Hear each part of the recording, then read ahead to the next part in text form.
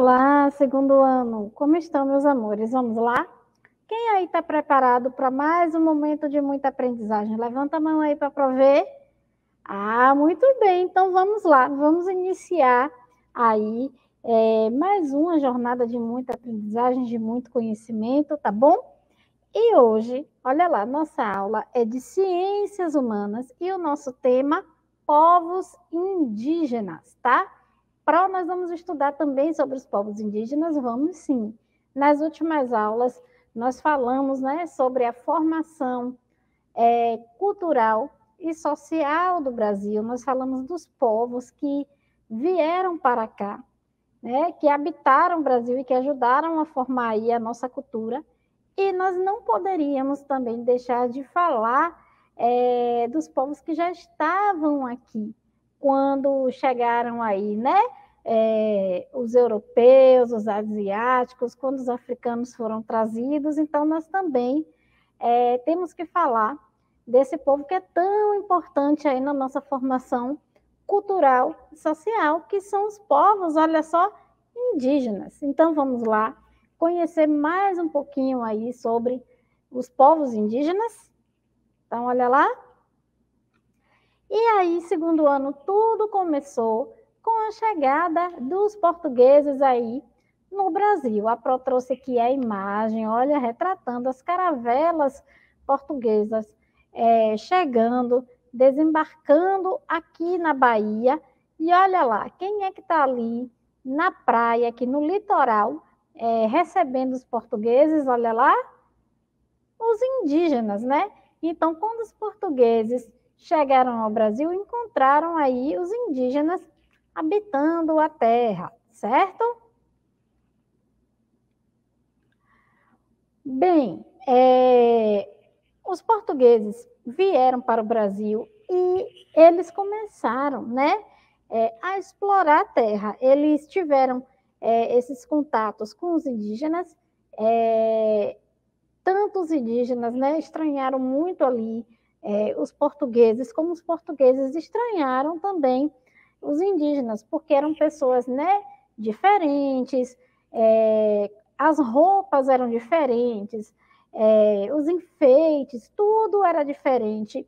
Os portugueses também começaram a, a mostrar aos indígenas a, a, é, alguns objetos que eles nunca tinham visto, como, por exemplo, espelhos.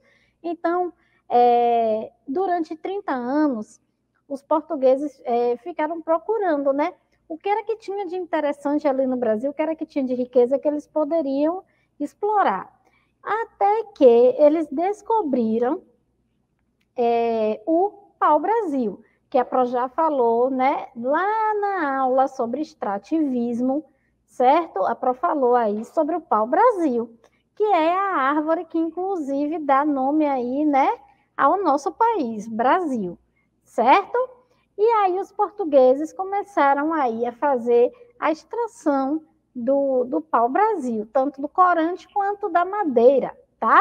E olha lá, quando os portugueses chegaram ao Brasil e descobriram a variedade de pau-brasil existente aqui, eles escravizaram os indígenas para realizarem aí esse processo de exploração. Porém, os índios não aguentaram o trabalho resistiram e os portugueses então escravizaram os africanos. Então observem na imagem, né, os indígenas aqui sendo escravizados né, pelos portugueses para fazer aí esse trabalho pesado que era o extrativismo aí do pau-brasil. Só que os indígenas eles não não aguentaram o trabalho, eles também não aceitaram, né, serem escravizados e eles lutaram mesmo contra esse processo de, de é, escravidão. Então, foi aí que os portugueses tiveram né, a ideia de escravizar os africanos, que nós já é, trabalhamos né, tudo isso quando falamos é, nas aulas lá do, dos povos africanos, né, como eles vieram para o Brasil. Mas antes, os portugueses escravizaram também os indígenas, tá bom? Inclusive, é, segundo ano. Lembram que a Pro falou né, sobre os quilombos? A Pro falou que muitos é, africanos fugiam, resistiam né, à escravidão e muitos fugiram para os quilombos. E é interessante agora a gente retomar falar de quilombo, porque vários indígenas também fugiram para os quilombos. Então, os quilombos, é, eles não tinham somente né, os africanos. É, o quilombo era a comunidade onde todos que lutavam contra a escravidão ou que fugiam da escravidão poderiam né, habitar, inclusive pessoas até mesmo né, consideradas ali como brancas, mas muitas vezes humildes e que é, é, fugiam também para os quilombos, certo? Bom, agora observem, né? A gente está tá vendo aqui as imagens de como os indígenas, né, eram quando os portugueses chegaram aqui e atualmente. Será que tem diferença segundo ano? O que é que vocês conseguem perceber de diferente aí entre uma imagem e outra?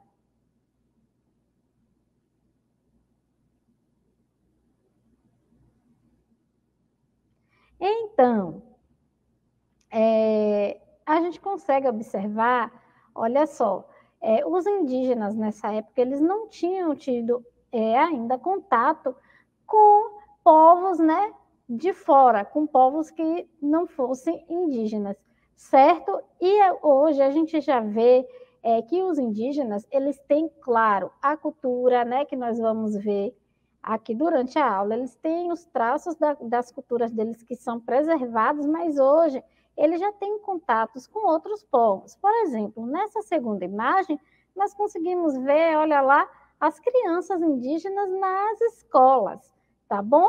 Então, ele já tem contato com outros povos, ele já tem contatos com outras culturas, tá? Diferentemente de dessa época aqui, né? Que foi quando os portugueses chegaram aqui no, no, no Brasil, certo? Que eles ainda não tinham tido contato com outras pessoas, tá? Então vamos lá, vamos dar continuidade aqui. E aí agora é, nós vamos, né, perceber, vamos descobrir aqui que quando nós falamos de povos indígenas, nós não estamos falando de um único povo, nós estamos falando de vários povos, tá bom? A mesma coisa, a mesma observação lá da aula, é quando nós falamos sobre África, tá? Quando falamos África, parece que é um país chamado África. Não. A África é um continente imenso, né? Com mais de 50 países, tá bom? E é o continente africano, e ali tem vários países. E, inclusive, né, é, cada país tem traços diferentes ali na sua cultura, certo? A mesma coisa são os indígenas. Quando falamos indígenas, dá a entender que é, é um único né, povo, mas na realidade são povos né, de tribos, de tribos diferentes, tá bom? E aí, para quais são essas tribos? Existem diversas tribos indígenas, tá? Tanto no Brasil como fora do Brasil, diversos povos aí certo? Tanto aqui no Brasil como fora do Brasil. A prova vai trazer alguns, tá?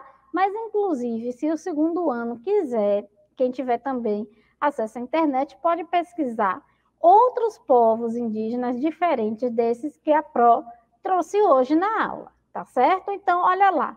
Os primeiros, ó, que nós vamos aqui é, ver são os povos tupinambás, tá bom? Então, Hoje, os povos tupinambás, eles habitam ali, ó, o sul da Bahia e falam o português, tá?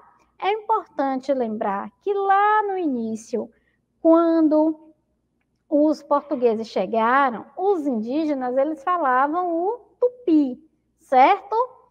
Mas, com o passar do tempo, como a Pro já falou anteriormente, os próprios indígenas também foram recebendo aí é, influências de outras culturas, foram conhecendo é, outros povos e hoje eles também falam português.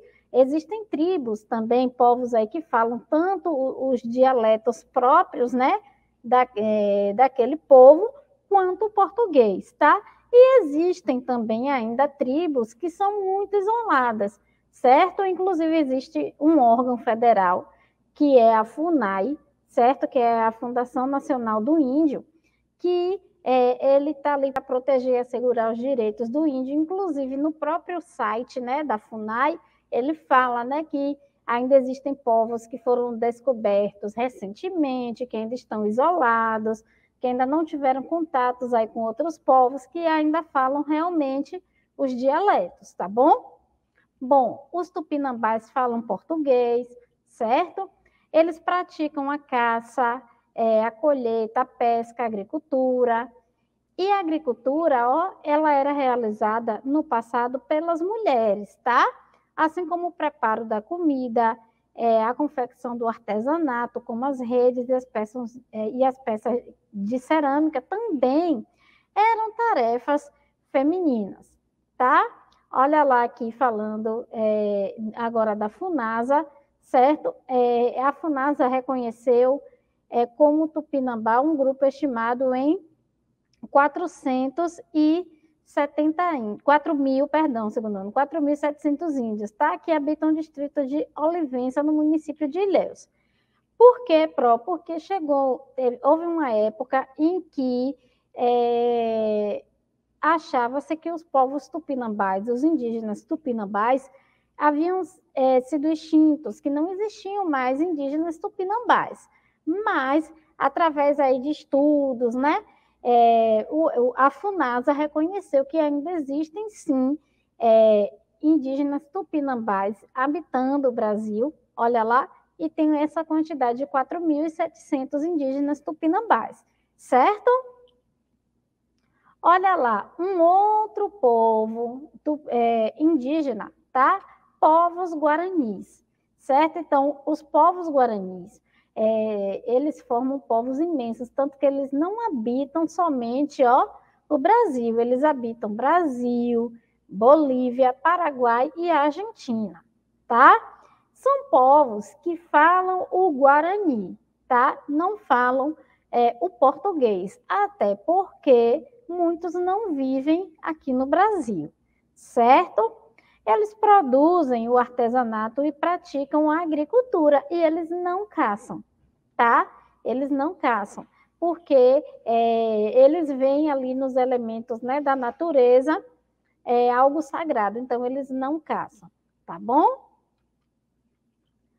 Olha lá, outro povo aqui, ó, bem importante na nossa formação, outro povo indígena, povos aruaques, ó, outro povo indígena. Eles falam ó, dialetos como Axágua e Barés, e eles habitam o alto do Juruá, certo? Que é lá no norte do Brasil.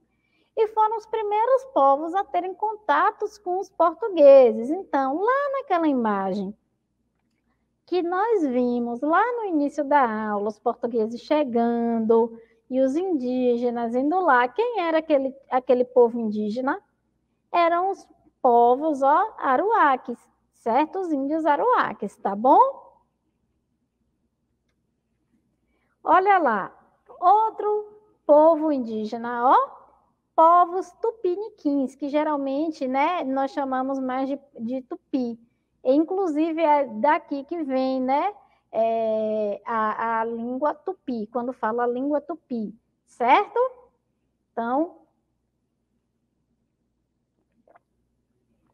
o povo, né? Os indígenas tupiniquins ou tupis, eles hoje habitam é, onde é o estado do Espírito Santo, tá? Eles falavam tupi e hoje também eles já aprenderam o português e praticam a agricultura, tá bom?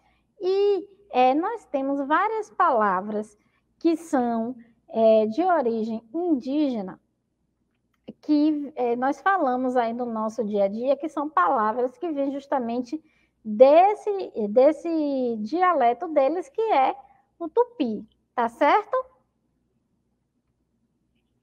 Olha lá, outro, outro é, grupo aqui, povos indígenas, povos tamoios, tá? Eles habitavam aí a região é, de São Paulo, Rio de Janeiro, tá? E ele é formado a partir de diferentes tribos. Então, diferentes tribos aí se uniram e formaram a tribo Tamoios, tá bom? O povo Tamoios. E é, uma informação é que quando os portugueses começaram aí esse processo de escravizar os índios, é, os tamoios quase foram dizimados. Por quê? Porque naquela época houve uma batalha, tá? Dos indígenas aqui, ó. Vamos ler junto com a Pro, quase foram dizimados na Confederação dos Tamoios, que foi uma batalha dos indígenas contra os portugueses. Então, que é que aconteceu? Os indígenas não aceitaram, né? Muitos não aguentaram, outros não aceitaram serem é, escravizados e várias tribos diferentes, vários povos diferentes indígenas se juntaram, tá? Então não foi só, apesar de receber esse nome, Confederação dos Tamoios, não foram só os indígenas tamoios que lutaram, ali foram vários é, tupiniquins, o, o, aruaques, enfim, vários, tá bom? Segundo ano. E aí houve essa batalha, tá? Contra os portugueses. Só que é, os é, indígenas eles não tinham é, o armamento que o, os, os, portugueses tinham, enfim. Então, na realidade, os indígenas tamoios eles quase foram dizimados, né?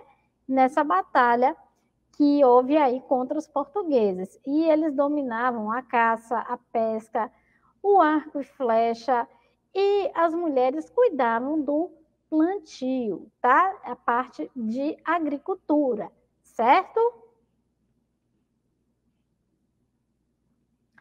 E agora nós vamos falar dos indígenas, dos povos paiaiais, tá? São povos também muito importantes, principalmente aqui para a região onde nós moramos, porque aqui também é, a região de Feira de Santana recebeu influência dos povos indígenas. E quem foram esses povos indígenas pró que influenciaram aí a região de Feira de Santana? Justamente, olha lá, os povos paiaiás, certo? Então, ó, os índios paiaiá fazem parte da história da criação de Feira de Santana. Quando as terras feirenses é, começaram a ser habitadas pelos primeiros moradores, os paiaiá habitavam a região de Maria Quitéria, e inclusive houve até é, uma batalha aí, né, um confronto entre é, esses, alguns latifundiários da época e os é, indígenas paiaiais. Por quê, Pro? Porque os indígenas viam esse crescimento ali como uma ameaça, eles tinham medo de perder as suas terras, e aí houve um confronto, certo? Eles também habitaram a região né, do Paraguaçu, Serra Preta, Alagoinhas e Jacobina, tá bom? Olha lá, um outro povo indígena, ó, povos Quiriri. Eles habitam a cidade de Banzaê, na Bahia, certo? E eles falam, ó, o quipeá, que é um dialeto né, indígena, e o português. Eles praticam a agricultura e uma característica desse povo é a prática do toré, que é um ritual de dança que simboliza a resistência e a união entre os povos. E as crianças né, indígenas estudam em escolas do município, certo? Escolas aí municipais é, dessa cidade de Banzaê, tá certo? Bem, vocês perceberam segundo ano quantos povos indígenas diferentes né, existem, e aqui a próxima apresentou alguns. Existem vários outros povos indígenas, tá bom? Pronto. Mas quando os, os portugueses chegaram aqui, eles escravizaram os indígenas, os indígenas não aceitaram. E como foi né, a vida é, dos indígenas depois disso. Então, é, os indígenas, né, eles é, ainda lutaram muito para serem reconhecidos, principalmente reconhecidos como os primeiros habitantes do Brasil. E oficialmente eles são o primeiro habitante, os primeiros habitantes do Brasil. Afinal de contas, quando os portugueses chegaram, eles já habitavam a terra certo? Mas eles conseguiram aí esse reconhecimento através né, de muita luta aí, tá bom? E eles também, segundo ano, já têm né, leis que protegem aí alguns direitos, tá? É, dos indígenas. Então, por exemplo, eles têm direitos, ó, a ter acesso aí às universidades, tanto que existe aí, né, as cotas de acesso à universidade, certo? Eles têm o direito à terra, então não pode é, desapropriar, tirar o indígena da sua terra. Existe terra que é indígena, que, que ninguém pode tomar, certo? Eles têm direito à cultura, eles têm direito à saúde, eles têm direito à educação, até porque eles são cidadãos, certo? Então, como todo cidadão, eles têm direitos e deveres, certo?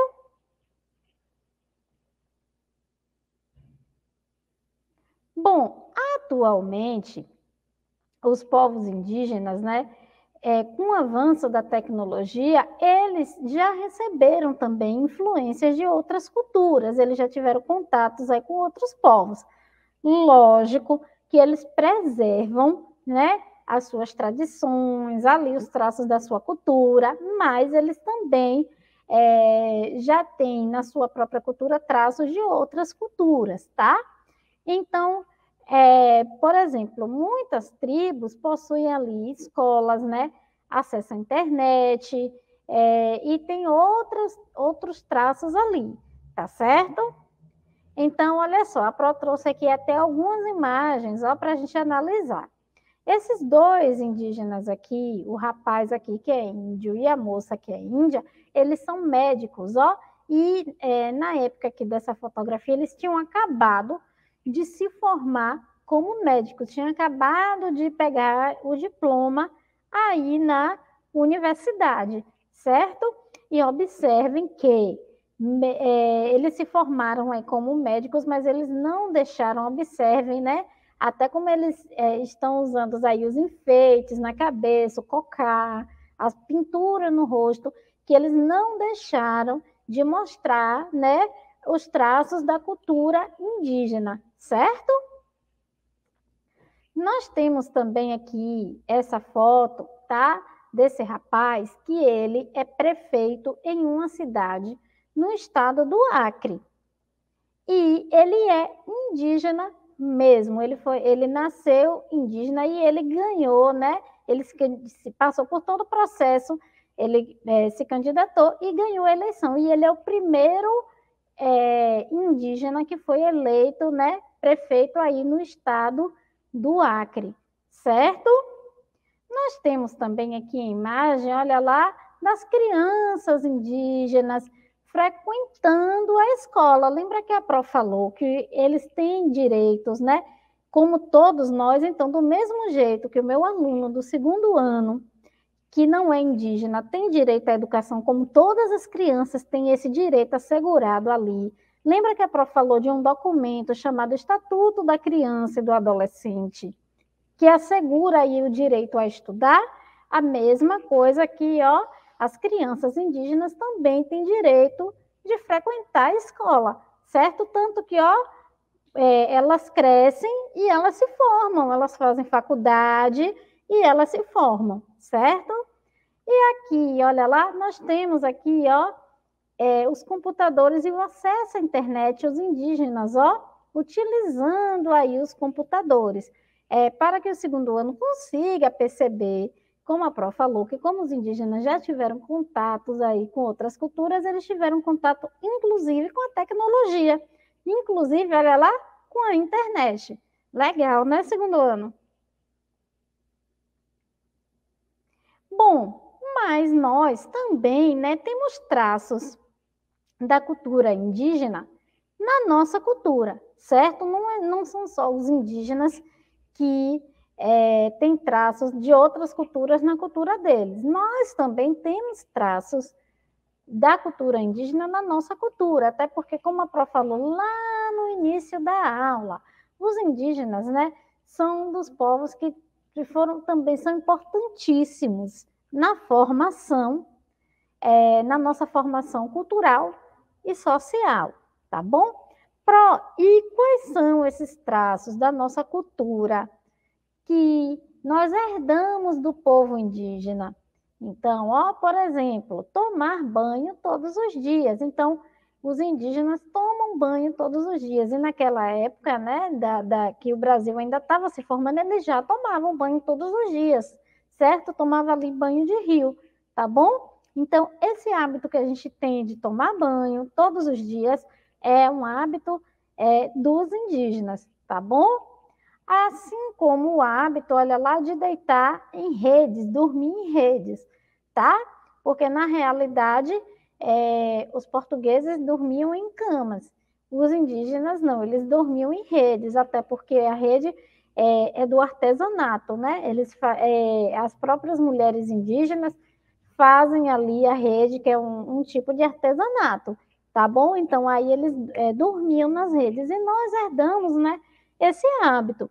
Embora é, a gente durma é, no nosso quarto, né, em cama, a maioria das pessoas, mas nós temos aí o hábito de ter rede em casa, nas varandas, nós deitamos na rede, o que é um hábito aí, né, o que, uma herança da cultura indígena, tá bom? Bom, nós temos também algumas palavras. Lembra que a Pro falou que tem algum, que a gente fala várias palavrinhas no nosso cotidiano que são palavrinhas aí que vêm é, do, da, da, cultura indígena, que inclusive vem do idioma tupi. Então, ó, algumas palavrinhas, ó, pipoca. Quem gosta de pipoca aí, levanta a mão. Ah, muito bem. Então, vocês sabiam que pipoca é uma palavra de origem indígena? Olha lá, pipoca, catapora, catupiri, jauá, mingau. Então, ó, palavras aí que nós falamos que são de origem indígena, tá? E um outro hábito que nós herdamos dos indígenas é gostar de comidas à base de milho e aipim, já que eles praticam, é um dos traços da cultura é, indígena praticar a agricultura. E eles plantam muita raiz, eles plantam é, muita batata, né? Batata doce, muita raiz, é, milho. Então, é, eles fazem realmente muitas iguarias aí à base do milho e do aipim, certo? Olha lá as ilustrações para o segundo ano, ver a criança tomando banho, que é o hábito, né? Tomar banho todo dia, é, o uso da rede e agora, ó, o bolinho de milho aqui, certo? Que os indígenas aí deixaram como herança para nós, tá? E agora, segundo ano, ó, a prova vai compartilhar com vocês a tela do jogo, tá? É, como a Pro sempre fala, que esse jogo, os jogos, né? Vocês podem depois é, pedir a Pro de vocês também para treinar na escola, ou pode pedir ao papai e à mamãe também para treinar em casa certo?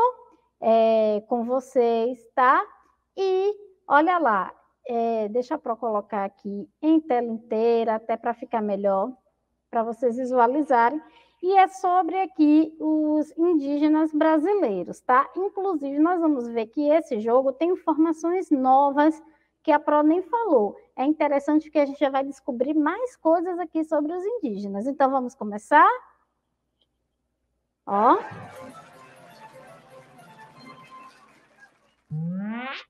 Então, olha lá, preparem-se. Qual o costume mais importante herdado, é, herdado pelos indígenas e que fazemos todos os dias? Lavar louça, pentear os cabelos ou tomar banho? Então, nós vimos né, que o hábito de tomar banho todo dia nós herdamos ali dos indígenas, certo? E aí você vai acumulando, ó, os pontos aí, certo? Pelo seu jogo, ó. Pergunta 2. Quais medicamentos eram utilizados pelos indígenas para é, curar doenças e que usamos ultimamente? A Pro já falou lá na aula de plantas, né, dos chás. E os indígenas utilizam muito, né, os, os chás, as plantas como medicamento, certo? Claro que eles também têm acesso a médico, mas é traço também da cultura, tá bom? Olha lá, Próxima pergunta, para o segundo ano. Em que os índios dormiam e esse costume que e esse costume que herdamos a maioria das pessoas gostam muito é eles dormiam na cama, na rede ou no chão. Nós vimos, né, que na rede, que inclusive a rede faz parte do artesanato indígena. Então as mulheres produzem, né, as redes, certo? E aí dormiam nas redes. E hoje nós também, né, é, utilizamos a rede. E aí, segundo, nesse jogo ele traz alguns pontos extras, você pode perder, é um bônus aí, é na sorte mesmo, será que é pro ganha? Perdemos 200 pontos. Mas tudo bem. E aí, segundo ano, você pode continuar aí, tá certo? Para poder é, recuperar tá bom? É, os, os pontos, tá? E aí tem aqui, ó, o dia que é comemorado o dia do índio. Ó, essa daqui é uma pergunta, ó, é, com a informação nova. Se é 19, 21 ou 22 de abril, ó, o dia do índio, tá? É comemorado é dia 19 de abril, informação nova, tá bom? E aí, segundo ano, é, vocês podem, certo, pedir também é, a Pro, como a Pro falou, né, para estar tá treinando, é, fazendo esse joguinho aí com vocês. Treinar, se tiver um irmão mais velho, vocês podem jogar juntos, o papai, a mamãe, tá certo? Deixa para compartilhar aqui a tela tá? E aí vocês vão descobrir várias informações novas. Esse joguinho é muito legal porque traz várias informações é, sobre os povos indígenas, tá bom? E as recomendações que a Pro sempre faz, né? É, se ficou alguma dúvida, anotar, certo? Perguntar Pro, trocar ideias com os coleguinhas, tá bom? E até a próxima aula. Beijo! Tchau, tchau.